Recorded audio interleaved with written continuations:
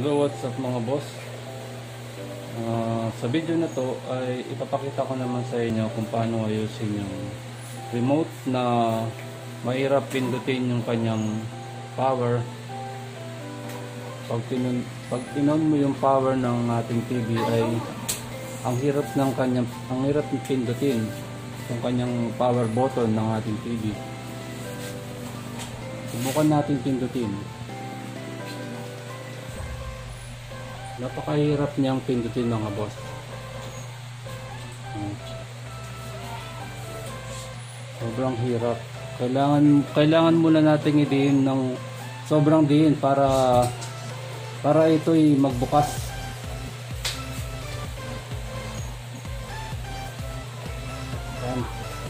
Yan. Mga boss na napindot na natin. Sobrang tagal. Sobrang hirap pindutin.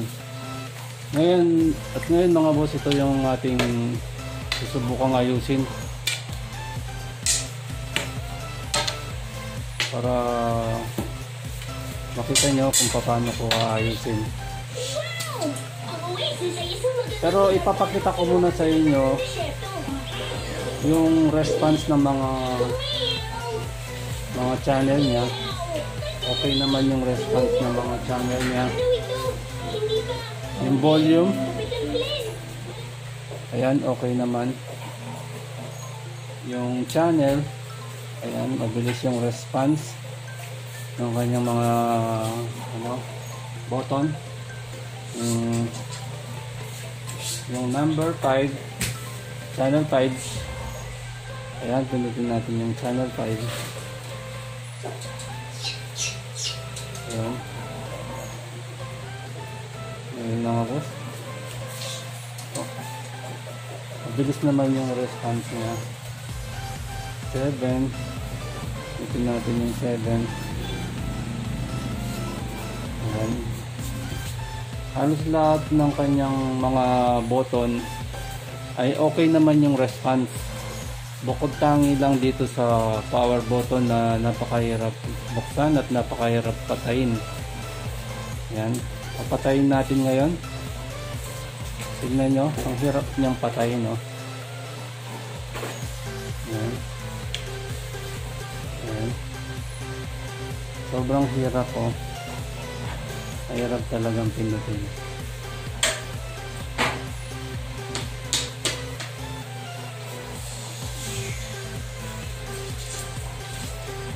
Yan. Yun pa lang, napakatagal. At ngayon, ayusin na natin. Yun ang una nating gagawin mga boss. Yung una nating gagawin, tanggalin muna natin yung kanyang battery.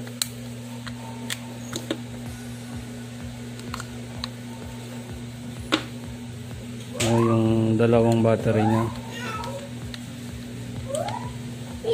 Bago natin siya buksan, meron siyang isang ano rito, tornilyo kailangan natin tanggalin ito para buksan natin at makita kung ano nga ba talaga ang kanyang problema at napakahirap niyang pindutin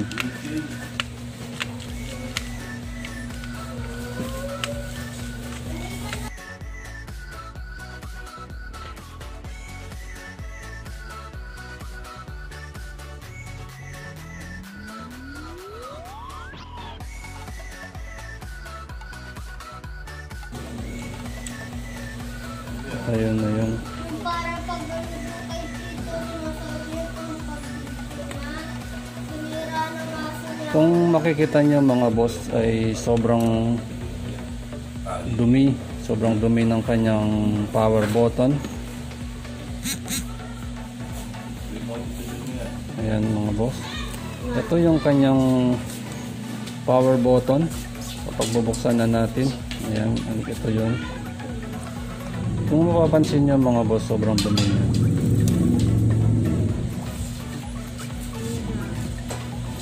Ayan.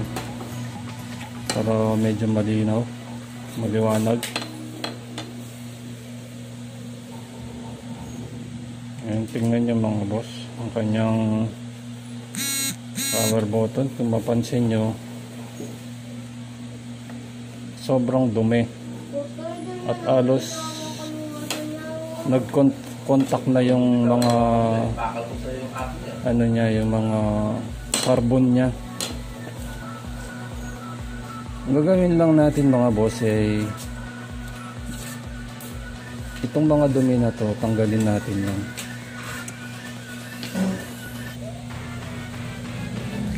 Ngayon mga boss, kumuha tayo ng brush. Pwede na brush na toothbrush ganyan. Kaya, kaya lang ako, may, meron ako nito, ano, brush na paint brush. Gagawin natin itong ano na to, yung power button niya na kulay kulay green. Lagyan natin siya ng alcohol para matanggal yung mga dumi na kumapit dito.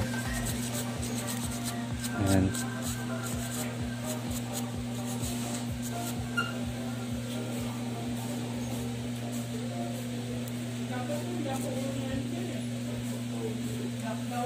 Ayan. Katapos ng mga boss, lagyan din natin ito. Itong ano, itong power button niya rin dito. Yung yung connectors niya. Yan, linisin natin to.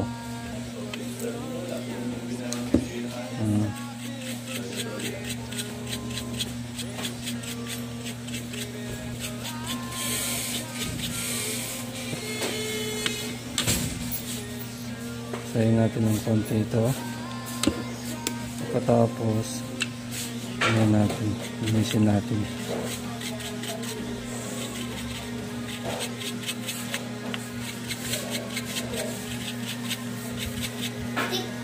Ayan lang. Brush lang yung gamitin natin pang linis, mga boss.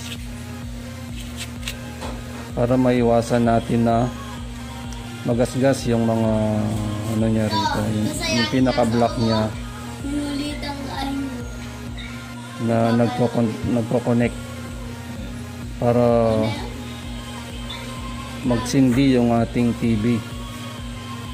Yan, kailangan lang ma- malinisan siya.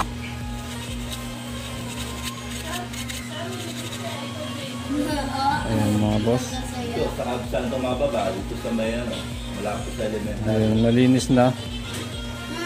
At wala na siyang dumi. Kung may lapis kayo, lagyan natin ng ano, ng ano, carbon dito.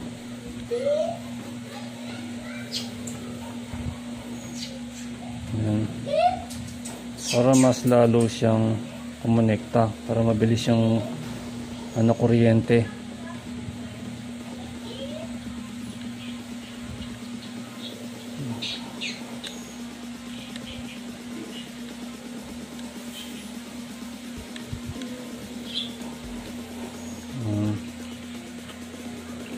Tapos natin lagyan yun, lagyan din natin ito. Para mabilis siyang kumonekta.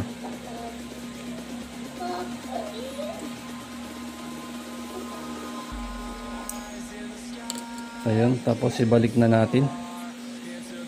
Take.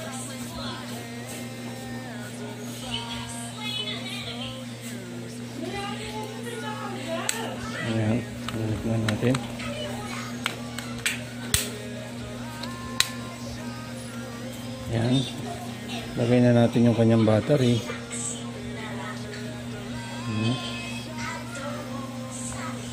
Siguraduhin lang natin na hindi baligtad ang pagkakakabit.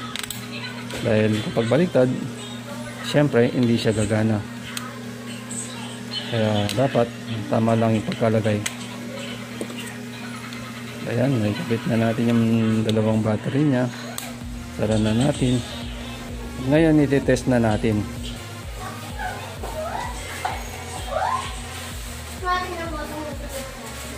Ayun mga boss, ah, papatayin natin na tignan natin kung gaano siya kabilis mamatay. Kasi kanina ang tagal bago natin mapatay eh. Yeah.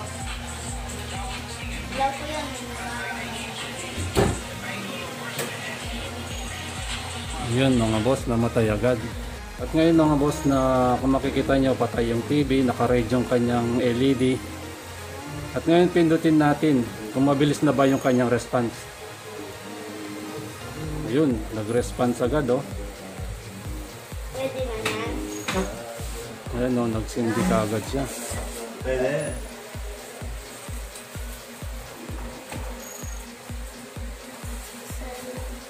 Itong TV nga pa lang ito, may- medyo matagal nga lang siyang ano, lumabas yung kanyang ano palabas. At ngayon mga boss, papatayin naman natin siya kung mabilis nga ba siyang mamatay. Ito na, pindutin ko na ha. Yun, ang bilis, oh, namatay ka agad. Kung nagustuhan niyo tong video na to, bigyan mo naman ako ng thumbs up at kung bago ka pa lang sa video na to, ay huwag mong kalimutang mag-subscribe. At pindutin mo na rin ang notification bell para lagi kang update sa mga bago pa nating ilalabas na video. Hanggang sa muli. Bye! You